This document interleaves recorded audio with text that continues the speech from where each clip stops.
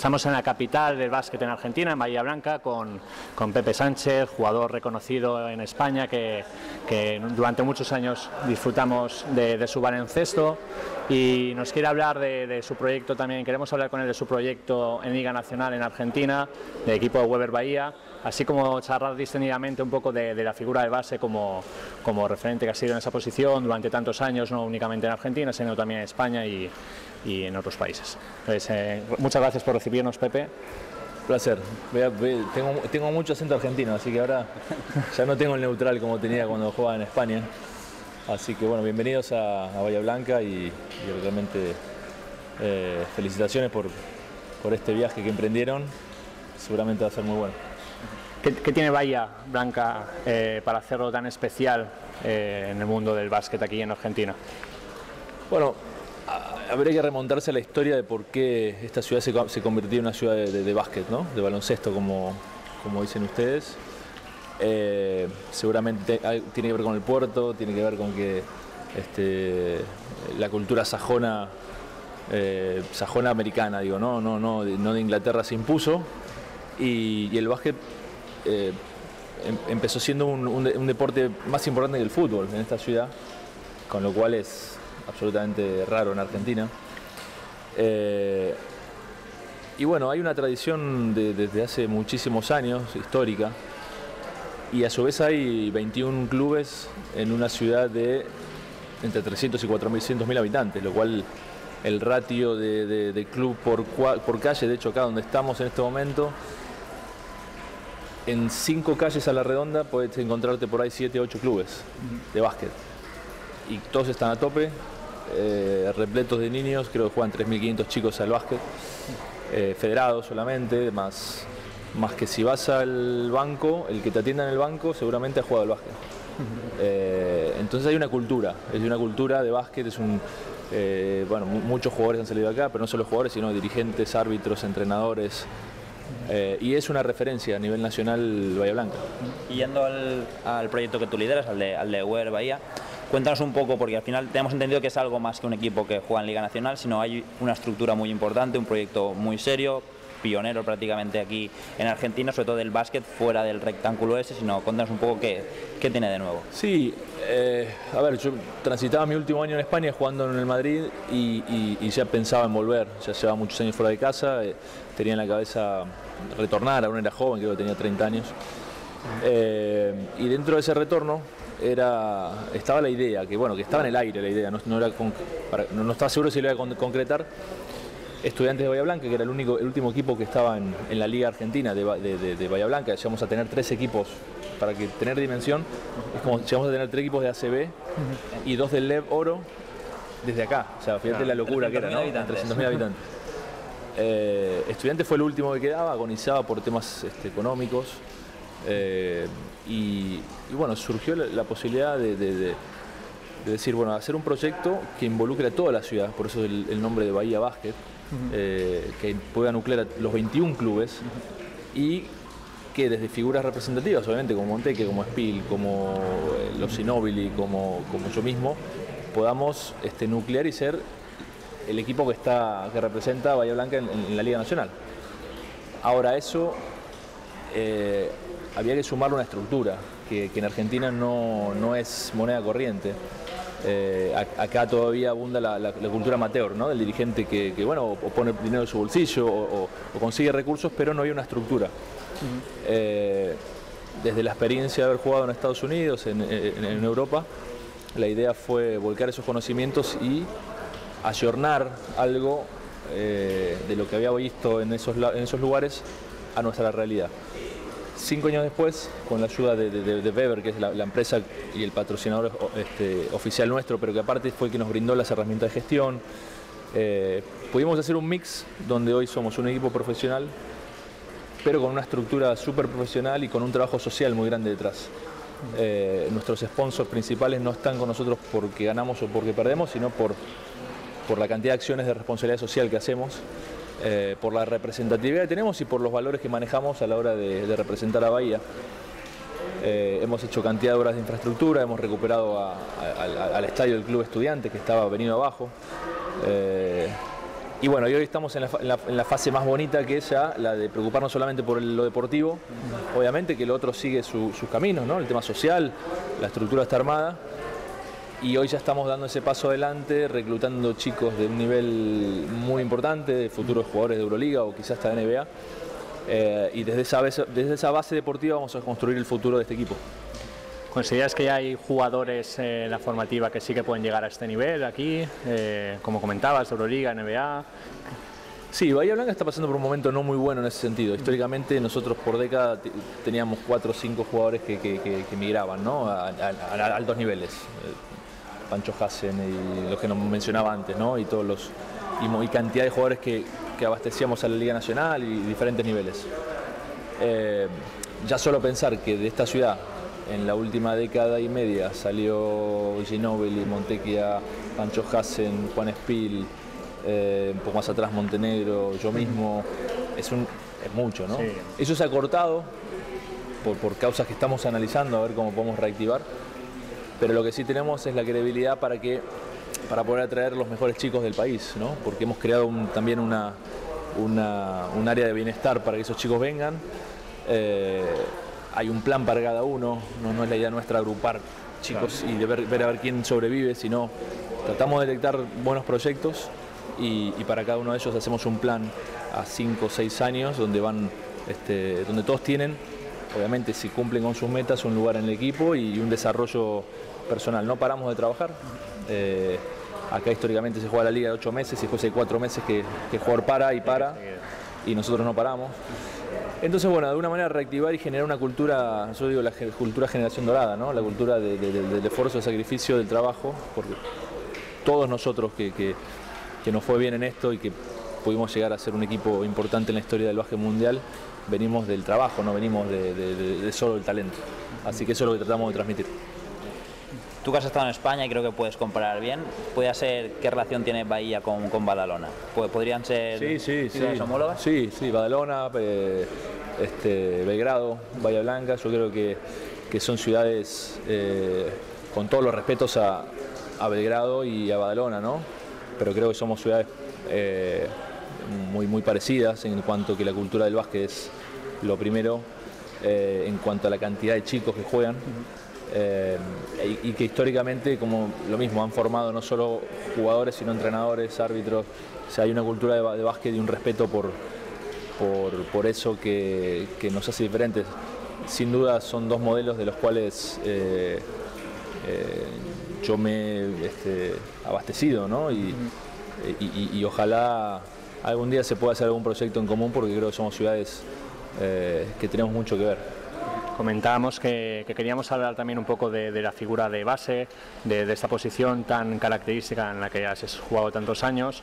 Em, ¿Qué valores consideras, eh, qué condiciones consideras que debe tener un buen base, tanto formativamente para que alcance el profesionalismo, como una vez llega al profesionalismo para, considerarse un buen base? Bueno, es una pregunta amplia, ¿no? porque hoy el base ha variado, eh, el base, el base este, histórico, clásico, ha mutado a ser un jugador más que pueda jugar en dos posiciones, que pueda ser atlético, que pueda anotar. Eh, y quizás se ha perdido el base, como decíamos, ¿no? el, histórico base que es el, organizador de juego, el que.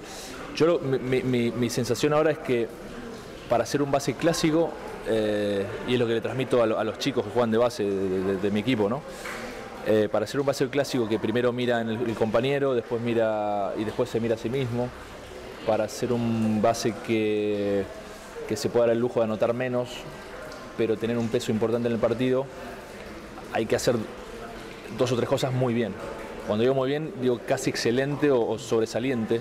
Una tiene que ser pasar el balón, la otra tiene que ser poder modificar el juego desde la defensa. Eh, creo que tenés que rebotear bien. Le tenés que dar muchas cosas al equipo para compensar eh, que ofensivamente por ahí le vas a dedicar más tiempo a, ordenar el equipo que a anotar. Eh, y creo que eso está al alcance de pocos, por eso lo vemos cada vez menos. Me parece que antes el base era el jugador que traía la pelota y la pasaba y ordenaba y hablaba mucho. Después estaban los, grandes bases.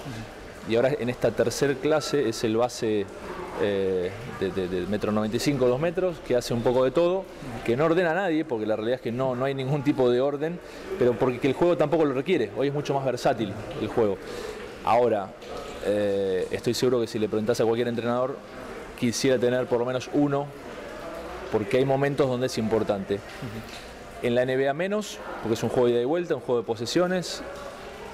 En ACB un poco lo, lo, pondría en el segundo nivel uh -huh. y en Euroliga definitivamente. En juego de 60-70 puntos, un Mesina, un Escariol, un Obradovich van a querer tener sí. siempre un jugador que, que sean ellos dentro de la pista y que de alguna manera se sienten, sienten esa seguridad de que, bueno, los otros cuatro pueden hacer cualquier cosa, pero este no me va a fallar. Entonces hay lugar todavía para ese base, eh, pero definitivamente el combo guard, como dicen en la NBA, es el que está tomando ya las riendas de... Eh, y no sé si de acá a 20 años habrá de esos... Este, porque claro, todo el mundo ahora se forma para hacer un, combo, ¿no? Claro. Pero está reñido, es un aspecto físico, digamos, está reñido ser un Satoransky, un base de dos metros, un Guillem Vives, con ser un base director. ¿Es más un tema físico, igual es un tema de actitudes, un tema de hábitos, un tema mental? Sí, yo creo que el, el tema físico eh, tiene, que, tiene incidencia. Eh, digo, un jugador de un metro ochenta, a menos que sea tremendo jugador ofensivo, va a desarrollar herramientas intelectuales antes que capacidades atléticas. Un jugador atlético, un Satoransky de dos metros que, que la mete hasta acá adentro, lo más probable es que lo quiera saltar al rival antes de ponerse a analizar por dónde. ¿no? un crack tiene, lo, tiene, las dos cosas. Es un tremendo jugador atlético y es, un, y es un tipo que pueda pensar. Lo que también creo que ha mutado es que ya no es el base el, justamente el que tiene que poseer esas cualidades intelectuales. A veces pasa que es un alero y muchas veces pasa que es un jugador interior. Eh, yo veo Chicago Bulls y, y, y, y, Noah claramente es el base del equipo, aún siendo interior. Eh, es el que los ordena, es el que les habla, es el que genera no está preocupado por sus puntos, está preocupado por el, por el juego colectivo. Uh -huh. y, y, pongo un ejemplo de eso porque se me viene a la mente, pero sí, eh, Marc, Marc es, es, es, el base dentro de la cancha, uh -huh. no es eh, con, está claro. Eh, y entonces, bueno, eso es otra situación que, si bien existió ¿no? en Sabonis, en algunos jugadores, eh, el base siempre tenía ese rol. Como decíamos, hoy se buscan jugadores atléticos. A ver, te soy sincero, yo hoy cuando quiero ver a un jugador, lo primero que busco es un jugador atlético. Porque el atleticismo tiene la ventaja de que, de que puedes sortear un montón de escollos. En cuanto de jugador menos atlético, como te decía antes, tiene que ser sobresaliente un montón de cosas para estar a la par.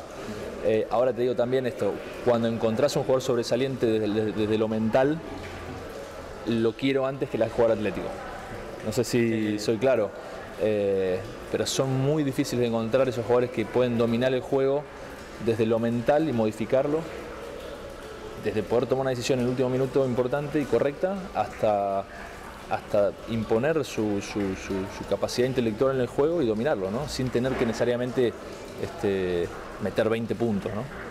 Si tuvieses que elegir algún base concreto o bien de, de Europa, de Euroliga, o bien también alguno emergente aquí en, en Argentina que estés eh, viendo en Liga Nacional y que pienses que tiene recorrido, las dos cosas, uno alguno en Euroliga que te guste especialmente joven y uno por aquí.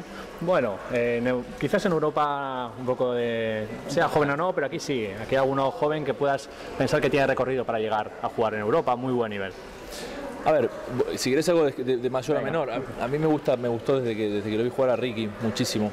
Creo que el tema del tiro es un tema que, que, que, que lo complica en un juego como la NBA, donde, donde este, se requiere ese base anotador, pero me parece que Ricky es de los que domina el juego en todos los aspectos, ¿no? desde, desde, lo mental, desde la defensa. Eh, me parece que es un jugador muy completo y que, y que es muy joven todavía. No hemos visto ni cerca el mejor Ricky, claro. Eh, de Argentina, de los últimos bases, me gustaba mucho, me gusta, me gusta mucho Campazo. Es otro estilo totalmente, pero me gusta la verticalidad que tiene. Para mi gusto estaba, eh, bueno, el, el, futuro lo dirá, ¿no? Pero para mí era un caso más para buscar la NBA que buscar Europa. El tipo, eh, sí, el tipo, tipo, tipo de juego.